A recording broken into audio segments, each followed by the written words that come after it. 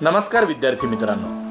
मित्रांनो बी ए द्वितीय आणि बी एस सी द्वितीय वर्षाच्या सत्रात प्रथम भाषा मराठीमध्ये भूक नावाची कथा आज आपण अभ्यासणार आहोत. सुरुवातीला लेखकाचा परिचय करून घेऊयात. या कथेचे लेखक आहेत उमेश मोहिते. एकोणीसशे पंच्याऐंशी पासून त्यांनी आपल्या लेखनाला प्रारंभ केलेला आहे. मोहिते यांचा जागरण हा कथासंग्रह एकोणीसशे त्र्याण्णवला प्रसिद्ध झाला. या कथासंग्रहाला महाराष्ट्र राज्य साहित्य संस्कृती मंडळाचे अनुदान प्राप्त झाले होते. या कथासंग्रहाला कैलासवासी रोहमारे पुरस्कारही मिळालेला आहे. तसेच मोहिते यांचा दुसरा कथासंग्रह म्हणजे ओळख हा होय. दोन हजार नऊ ला ओळख हा कथासंग्रह प्रसिद्ध झाला होता.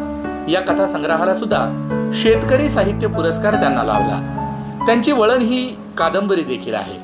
या कादंबरीला उदगीर कैलासवासी भोसले मित्र मंडळातर्फे दिला जाणारा साहित्य साधना पुरस्कार त्यांना लाभला होता. आता वळूयात त्यांच्या भूक या कथेकडे.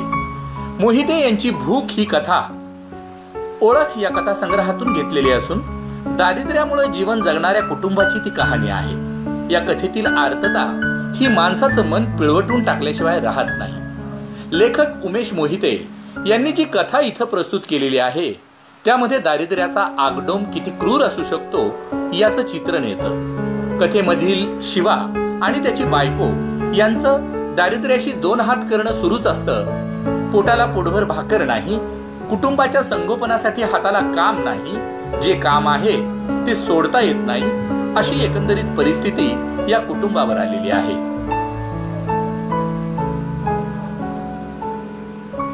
मन ही खरं तर बाळंतीन झालेली. आणि अशी ही ओली बाळांतीन सुमन पंधरा दिवसात कामावर जाते. खरं तर तिच्या शरीरात काम करण्याचं कुठलंच त्राण शिल्लक राहिलेलं नाहीये. एकीकडे पोटाला पोटभर भाकर नाही. काम करण्यासाठी शरीरात ताकद नाही. तरी सुद्धा निमूटपणे दारिद्र्याशी दोन हात करत आपल्या नवऱ्याला हातभार लावत वीटभट्टीवर ती राब राब राबते आहे. नवरा शिवा लाल माती भिजवतो. त्याच्या विटा साच्यातून काढतो. आणि सुमन आपल्या डोक्यावर ओल्या विटा टोपलीत घेऊन उन्हात वाळू घालते. एकीकडं झोका बांधलेला आहे. बाळाला ऊन लागू नये याची काळजी म्हणून फाटके तुटक्या चिंध्या बाळाच्या भोवती लपेटलेल्या आहेत. बाहेरच्या भयंकर उन्हानं बाळाच्या नाजूक शरीराची लाही लाही होत आहे. मात्र निसर्गाच्या या कोपाला रडून विरोध करण्या इतपत बाळ सशक्त नाही. तर ते कुपोषित आहे. त्यामुळं ते आजारी असल्यानं त्याचे पोट खालीवर खालीवर हापशा मारतय. तसा सुमनचा जीवही खालीवर होतोय. ती कधी बाळाकडं तर कधी आग ओकणाऱ्या सूर्याकडं तर कधी आपल्या नवऱ्याकडं पाहतीये. दिवस कधी मावळेल याचाच विचार तिच्या मनामध्ये सतत सुरू आहे.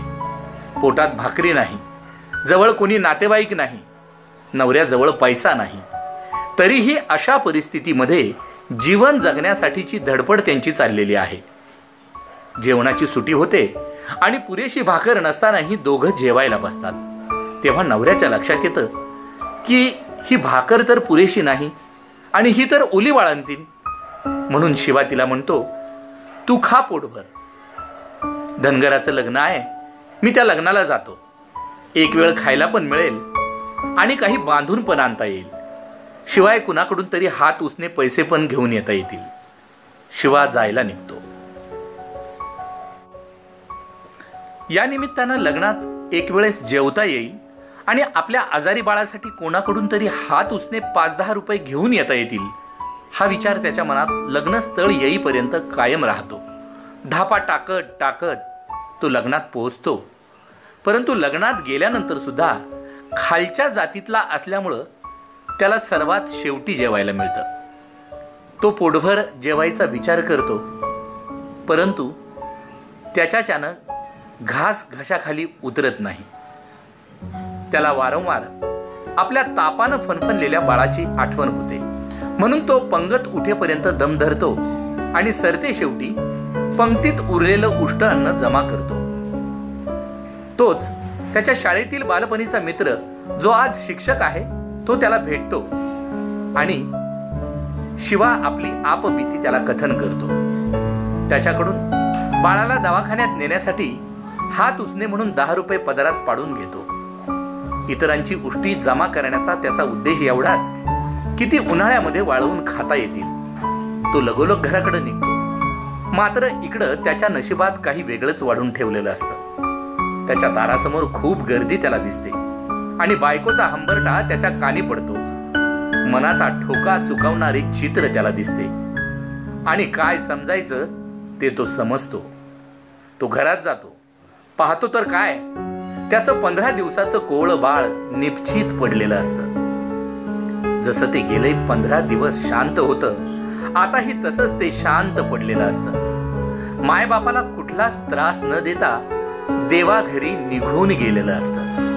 दुःखाच्या अतिरेकानं तो तिथंच कोसळतो आणि बेशुद्ध पडतो. अशा प्रकारचं मनाला हेलावून टाकणारं असं कथानक उमेश मोहिते आपल्या कथेत मांडतात. ते मांडताना वाचकाची किंवा रसिकांची पकड कायम ठेवण्यामध्ये ते यशस्वी होतात. कथेमध्ये त्यांनी वापरलेली ग्रामीण भाषा आणि या भाषेबरोबरच रेखाटलेलं शब्दचित्र यामुळं प्रत्यक्षात कथा आपल्या डोळ्यासमोर उभी राहते. म्हणजेच लेखक आपल्या परीने सदरील कथा वाचकांच्या पर्यंत रसिकांपर्यंत पोहोचवण्यामध्ये यशस्वी झाल्याचं दिसून येतं. वाचकाच्या मनाची पकड ठेवणं. तसंच वाचकाला कायम एकरूप करून घेणं यात लेखक यशस्वी झाल्याचं दिसतं. सोबतच लेखकानं स्वातंत्र्यानंतरही मोलमजुरी करून जगणाऱ्यांना दोन वेळेचं जेवणही मिळत नसल्याचं कटू सत्य आपल्यासमोर ठेवल्याचं दिसून येतं. देशाला स्वातंत्र्य मिळून अनेक वर्ष झाली.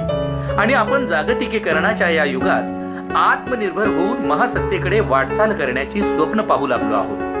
मात्र देशातली गरिबी दारिद्र्य हे काही केल्या कमी होताना दिसत नाही. आणि जो श्रीमंत आहे तो अधिक श्रीमंत होत चाललेला आहे. आणि जो गरीब आहे तो अधिक गरीब होत चाललेला आहे. अशी या देशातली दरी मोठ्या प्रमाणात निर्माण होत चाललेली आहे. सोबतच याला भर म्हणून की काय? या स्वतंत्र देशात अजूनही जातीयता तेवढ्याच मोठ्या प्रमाणात फोफावलेली आपल्याला दिसून येते. अजूनही या देशात अनेक शिकले सवरलेले जाती प्रथा कायम ठेवण्यात धन्यता मानतात. आणि म्हणूनच अशा लोकांमुळेच की काय? शिवा आणि सुमन यांच्यासारख्या गरिबांचा संसार अर्ध्यावरच मोडतो. आणि अपत्य जाण्याचं आयुष्यभराचं दुःखही त्यांच्या नशिबी येतं. मोहिते यांनी या कथेच्या माध्यमातून केवळ शिवा आणि सुमन यांचं दारिद्र्यात असलेलं जीवनच मांडलेलं नसून त्यांनी अनेक प्रश्नांना वाट मोकळी करून दिल्याचं दिसून येतं. संसाराचा गाडा चालवण्यासाठी हातभार लावणारी सुमन ही कष्टकरी महिलांचे प्रतिनिधित्व करते. तर दारिद्र्यानं पिचलेला आणि मागास जातीत जन्माला आलेला शिवा हा स्वतंत्र देशातील अनेक जाती व्यवस्थेने पिडलेल्या व्यक्तीचं प्रतिनिधित्व करताना आपल्याला दिसून येतो. पोटात अन्न नसल्यामुळे छातीला लावलेलं तापानं फनफनत असलेलं बाळ कुठलाही आवाज न करता न रडता देखील बरच काही सांगून जात. लेखक या निमित्तानं देशातील दारिद्र्य आणि या दारिद्र्याचं विदारक चित्रण करताना दिसून येतात. सोबतच शिक्षणाअभावी माणसाचे काय हाल होतात हेही अप्रत्यक्ष सांगण्यास ते विसरत नाहीत. जर शिवा त्याच्या मित्रासारखा शिकला असता तर तो आज कदाचित शिक्षक असता हेही लेखकाला अप्रत्यक्षपणे इथं सांगायचं आहे. आणि म्हणूनच शिक्षण हे वाघिणीचं दूध आहे आणि ते पिल्यानंतर माणूस गुरगुरल्याशिवाय राहणार नाही. हे डॉक्टर बाबासाहेब आंबेडकरांचं ब्रीद असेल किंवा विद्येविना मती गेली मती विना नीती गेली नीती विना गती गेली गती विना वित्त गेले वित्ता विना शूद्र खचले इतके अनर्थ एका अविद्येने केले. या महात्मा फुले यांच्या शिक्षणाचे महत्त्व सांगणाऱ्या ओळींची आठवण झाल्याखेरीज राहत नाही.